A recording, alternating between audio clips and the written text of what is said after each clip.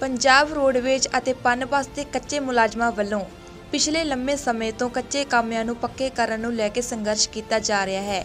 ਪਰ ਪੰਜਾਬ ਸਰਕਾਰ ਵੱਲੋਂ ਇਹਨਾਂ ਕਾਮਿਆਂ ਦੀਆਂ ਮੰਗਾਂ ਨੂੰ ਅਣਦੇਖਾ ਕੀਤਾ ਜਾ ਰਿਹਾ ਹੈ, ਜਿਸ ਦੇ ਵਿਰੋਧ ਵਿੱਚ ਅੱਜ ਪੰਜਾਬ ਭਰ ਵਿੱਚ ਰੋਡਵੇਜ ਪਨ ਬੱਸ ਦੇ ਕੱਚੇ ਮੁਲਾਜ਼ਮਾਂ ਵੱਲੋਂ ਰੋਸ ਪ੍ਰਦਰਸ਼ਨ ਕੀਤਾ ਜਾ ਰਿਹਾ ਹੈ। ਇਸੇ ਦੇ ਤਹਿਤ ਅੱਜ ਫਿਰੋਜ਼ਪੁਰ ਦੇ ਸ਼ਾਉਣੀ ਬੱਸ ਅੱਡੇ ਤੇ ਵੀ ਕਾਮਿਆਂ ਵੱਲੋਂ 4 ਘੰਟੇ ਬੱਸ ਅੱਡਾ ਬੰਦ ਕਰ ਹੜਤਾਲ ਕੀਤੀ ਗਈ ਅਤੇ ਨਾਲ ਹੀ ਕੱਲ ਨੂੰ ਪਟਿਆਲੇ ਜੋ ਕਿ ਕੈਪਟਨ ਦਾ ਮੋਤੀ ਮਹਿਲ ਦਾ ਘਿਰਾਓ ਕਰਨ ਦਾ ਐਲਾਨ ਵੀ ਕੀਤਾ ਗਿਆ। ਇਸ ਮੌਕੇ ਯੂਨੀਅਨ ਆਗੂਆਂ ਨੇ ਕਿਹਾ ਕਿ ਪੰਜਾਬ ਸਰਕਾਰ ਵੱਲੋਂ 4 ਸਾਲਾਂ ਵਿੱਚ ਟਰਾਂਸਪੋਰਟ ਵਿਭਾਗ ਦਾ ਕੋਈ ਹੱਲ ਨਾ ਕਰਨਾ, ਕਿਸੇ ਵੀ ਕੱਚੇ ਮੁਲਾਜ਼ਮ ਨੂੰ ਪੱਕਾ ਨਾ ਕਰਨ ਤੋਂ ਸਾਬਤ ਹੁੰਦਾ ਹੈ ਕਿ ਸਰਕਾਰ ਟਰਾਂਸਪੋਰਟ ਮਾਫੀਏ ਨਾਲ ਮਿਲ ਕੇ ਕੱਚੇ ਮੁਲਾਜ਼ਮਾਂ ਨੂੰ ਪੱਕਾ ਨਹੀਂ ਕਰਨਾ ਚਾਹੁੰਦੀ।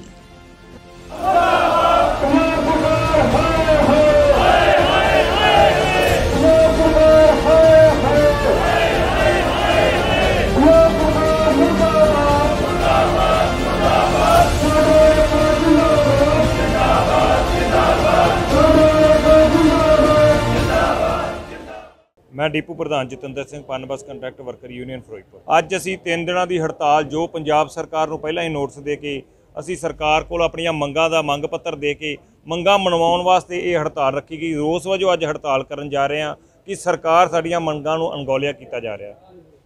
ਅਗਰ ਜੇਕਰ ਸਰਕਾਰ ਸਾਡੀਆਂ ਮੰਗਾਂ ਨਹੀਂ ਮੰਨਦੀ ਤੇ ਆਉਣ ਵਾਲੇ ਦਿਨਾਂ ਵਿੱਚ ਅਸੀਂ ਹੋਰ ਵੀ ਤਿੱਖੇ ਸੰਘਰਸ਼ ਕਰਾਂਗੇ। ਜਿਵੇਂ ਕਿ ਕੱਲ ਪਟਿਆਲੇ ਅਸੀਂ ਉਹ ਕੈਪਟਨ ਦੀ, ਜਿਹੜਾ ਕੈਪਟਨ ਉੱਥੇ ਮਹਿਲਾ ਵਿੱਚ ਸੁੱਤਾ ਪਿਆ, ਉਹਨੂੰ ਜਗਾਉਣ ਵਾਸਤੇ ਆਪਣੀਆਂ ਹੱਕੀ ਮੰਗਾਂ ਨੂੰ ਮਨਵਾਉਣ ਵਾਸਤੇ ਕੱਲ ਪਟਿਆਲੇ ਅਸੀਂ ਰੈਲੀ ਕਰਨ ਜਾ ਰਹੇ ਹਾਂ। Punbus contract worker union ਅਤੇ ਪੀਆਰਟੀਸੀ ਦੇ ਮੁਲਾਜ਼ਮ।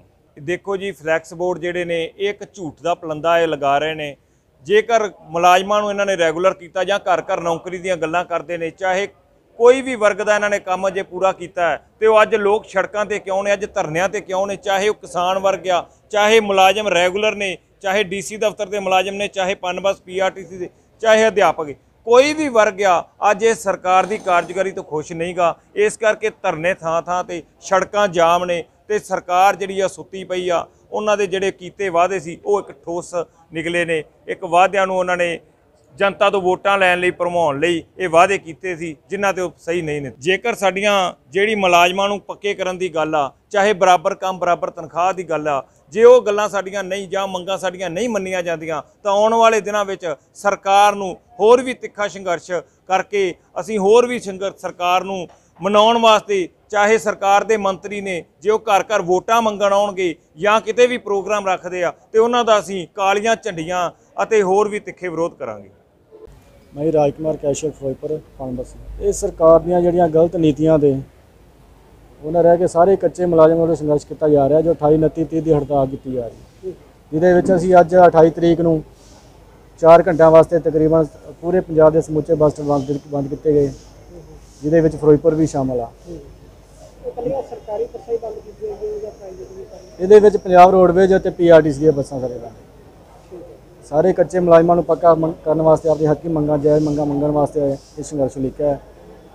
ਤੇ ਸਰਕਾਰ ਨੂੰ ਜਿਹੜੀ ਗੂੜੀ ਨੀਂਦ ਸੁੱਤੀ ਹੈ ਸਰਕਾਰ ਨੂੰ ਜਗਾਉਣ ਵਾਸਤੇ ਅਸੀਂ ਇਹ ਸੰਘਰਸ਼ ਲਿਖਿਆ ਹੈ ਤੇ ਸਾਨੂੰ ਕੱਚਿਆਂ ਤੋਂ ਪੱਕਾ ਕੀਤਾ ਜਾਵੇ ਦੁਨੀਆ ਤਨਖਾਹਾਂ ਤੇ ਸਾਡੀਆਂ ਤਨਖਾਹਾਂ ਵਧਾਈ ਜਾਵੇ ਮੇਰਾ ਨਾਮ ਜੀ ਰਜਿੰਦਰ ਸਿੰਘ ਸੀਨੀਅਰ ਮੀਤ ਪ੍ਰਧਾਨ ਪੰਜਾਬ ਰੋਡਵੇਜ਼ ਪਨਬਸ ਫਿਰੋਜ਼ਪੁਰ ਜੀ।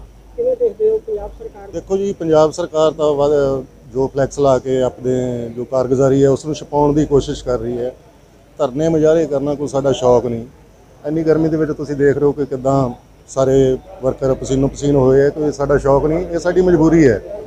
ਹੜਤਾਲਾਂ ਮੁਜ਼ਾਹਰੇ ਕਰਨਾ ਸਾਡੀ ਮਜਬੂਰੀ ਹੈ ਜੇਕਰ ਸਰਕਾਰ ਸਾਨੂੰ ਰੈਗੂਲਰ ਕਰਦੀ ਹੈ ਤਾਂ ਸਾਨੂੰ ਕੀ ਜ਼ਰੂਰਤ ਹੈ ਸੜਕਾਂ ਤੋਂ ਉਤਰ ਕੇ ਧਰਨੇ ਮੁਜ਼ਾਹਰੇ ਕਰਨ ਦੀ ਸਰਕਾਰ ਦੀ ਬਰਖਲਾਫੀ ਕਰਨ ਦੀ ਇਹ ਸਾਡੀ ਮਜਬੂਰੀ ਹੈ। ਇਸ ਕਰਕੇ ਅ, 28 29 30 ਤਰੀਕ ਦੀ ਤਿੰਨ ਰੋਜ਼ਾ ਸਾਡੀ ਹੜਤਾਲ ਹੈ।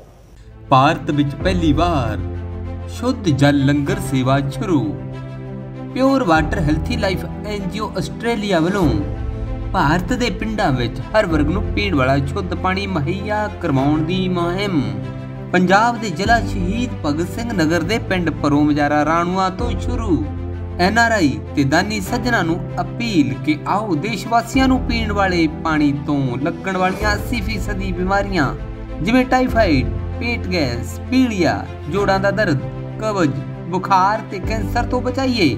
ਸਲਾਹ ਤੇ ਸਹਿਯੋਗ ਕਰਨ ਲਈ ਸੰਪਰਕ ਨੰਬਰ ਪਰਮਜੀਤ ਸਿੰਘ ਰਾਣਾ ਪੰਜਾਬ 7009 807083 ਅਤੇ ਰਘੁਵੀਰ ਸਿੰਘ ਆਸਟ੍ਰੇਲੀਆ 042 67 59 463